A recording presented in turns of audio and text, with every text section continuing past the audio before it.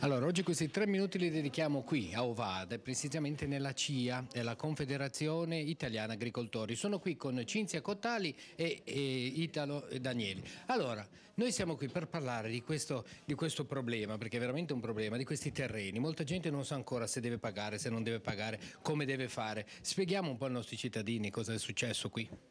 Allora, purtroppo eh, ci sarà da pagare e ci sarà da pagare per parecchie persone che non erano abituate a farlo perché non avevano mai dovuto pagare né l'ICI sui terreni quando c'era l'ICI né poi l'IMU con l'avvento dell'IMU e eh, purtroppo ci troveremo a pagare anche delle cifre diciamo non proprio ridicole.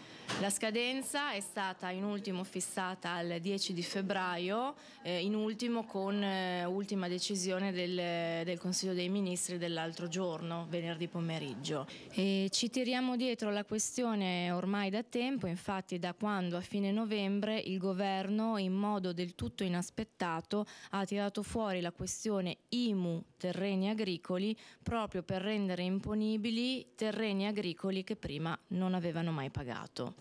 Italo, ma è giusto secondo te aiutare l'agricoltura così?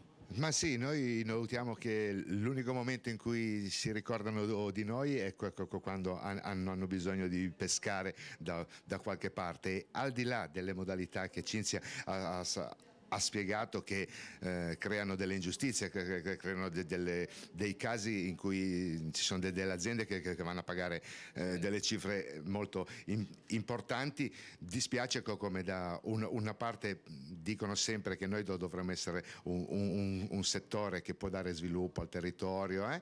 però poi giusto, gli, gli si accorgono di, di noi solamente quando c'è da prendere giusto. Queste, palanche. E, e poi tra l'altro come dire, la, la, cosa curiosa è anche il come non, non ci sia un minimo di programmazione in, in queste cose perché questa vicenda, come diceva Cecenzia, sta mettendo i nostri uffici e gli uffici dei, dei, dei, comuni in grandissima difficoltà perché vanno da un'ora all'altra con delle modifiche, non si capisce, interpretazioni.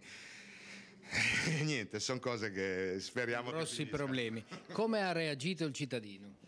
Eh, non bene, ovviamente non bene perché sappiamo tutti che quando ci toccano nelle tasche, perché poi parliamoci chiaramente, noi siamo qui adesso in veste di coloro che calcolano, ma alcuni di noi si trovano ad essere coinvolti proprio anche come cittadini che eh, si trovano a dover mettere mano al portafoglio e pagare cifre che non erano in programma e tra l'altro retroattive perché la scadenza che ci troviamo ad affrontare adesso del 10 di febbraio è ancora relativa all'anno di imposta 2014, cosa che veramente ha dell'assurdo. È assurdo, quindi rivolgendosi ai giovani ragazzi mettetevi nell'agricoltura ma speriamo che qualcosa cambi perché qui invece con una mano, qui la mano la danno per prendere i soldi. E con voi ci vediamo ai prossimi tre minuti. Grazie.